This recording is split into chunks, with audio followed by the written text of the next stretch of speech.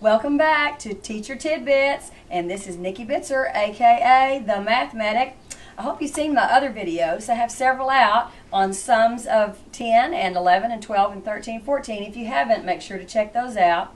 But this video is going to be on multiplication practice. I've had a lot of requests for that, so I'm going to show you uh, one game and then a variation of that game on multiplication practice with the cards. So get your cards ready, and I'll show you how those are played.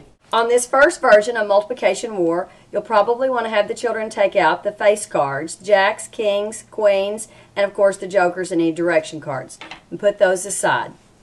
Now this is a modified version of it. In the beginning, when they're learning their multiplication facts, you probably would want to also take out the larger numbers, such as the tens, the eights, the nines, the sevens, those cards, the larger cards. I tell the children to pull out what I call a target number. In this case, you might want to start with the twos when they're learning their multiplication facts. They put the stack of cards beside that. They take turns turning the cards over.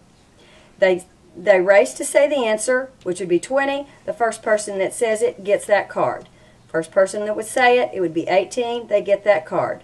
And so on. First person that would say it, it would be 4. They get that card. So they continue to play till all the cards are gone, and then and then the one the the person with the most cards win. They can keep playing that for uh, you know 15, 10, 15, 20 minutes till they learn their math facts. Another version of multiplication war is again to take out your face cards in the beginning. Later on when they learn their 11s and 12s and 13s, you want to put those back in. They deal these out just like regular war. And to save time, I'm not going to do that, but they'll deal them out evenly into two stacks. I have my stack and the partner has their stack. They take turns turning the top card over at the same time. The, the student that says the answer, which would be 10, gets the cards. And they keep turning over. The first person that says the answer, which is 14, gets the cards. So they keep playing just like regular war, except it's multiplication. Until all the cards are done, or sometimes I have them play until some, one person has no cards. And that's how that one's played.